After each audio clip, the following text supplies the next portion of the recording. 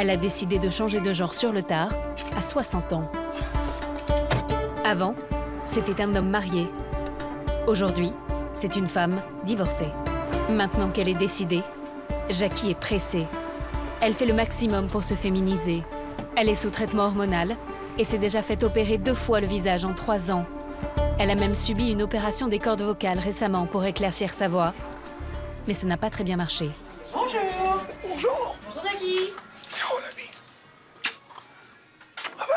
Bah oui, vous Au départ, c'était Jacques qui venait se faire couper les cheveux. Progressivement, depuis 4 ans, Jackie se féminise. Mais j'adore venir ici. Ça a été important dans votre féminisation, justement Oui, ça compte. euh, on se sent dans son personnage, dans son, dans son genre. Enfin, ça fait au moins 50 ans que j'ai ça dans la tête. 50 ans que je reviens, mais j'ai J'ai même espéré que ça me passe. J'essaie de vivre normalement. Et voilà, j'ai un métier, je me suis marié deux fois. J'ai fait mon service militaire. Mais j'ai jamais été à l'aise dans le monde d'homme, en fait. Même sans avoir jamais ressenti le besoin de jouer à la poupée ou des choses comme ça. J'étais pas dans mon rôle, j'étais pas dans mon genre.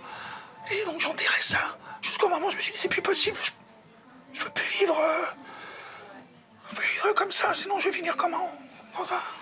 Je finirai ma vie en homme et. Ça allait pas. C'était pas possible. J'avais tout raté.